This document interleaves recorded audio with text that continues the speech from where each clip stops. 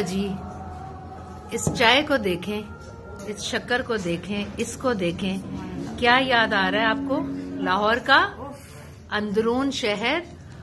और ये देखें मैं कहाँ आ रही हूँ अब। ये देखें जी। ये सबके इंटरव्यू करती हैं ना उगलवाती हैं सब कुछ। आज मुझे इनकी बड़ी चीज़ें पता चल गई। इन्होंने खाई आज जी मटन कढ़ाई कबाब कबाब तो खैर नहीं खाए मीरा ने। और इन्होंने कहा कि यहाँ की मुझे चाहिए चाय। ओ माय गॉड और ये तंदूरी चाय पीते हुए तंदूरी चाय है जिसके अंदर हमने शक्कर डाली है ओरिजिनल शक्कर। तंदूरी चाय धुआँ निकल रहा है। ज़बरदस्त। शक्ल दिखाएँ शक्ल दिखाएँ वाह वाह वाह। क्या कलर है जी।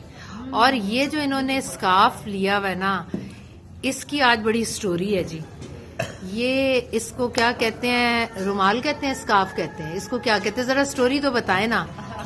आ, ये जो आपने ऊपर लिया हुआ है ये कलरफुल सा स्कार्फ ये ये मफलर अच्छा इसे मफलर ये एक लोकल जो लाहौर या ना हमारे जनूबी पंजाब में कम लेकिन अपर पंजाब। लाहौर में हम्म। ये सबसे ज़्यादा इस्तेमाल होता है कलरफुल ये मफलर है।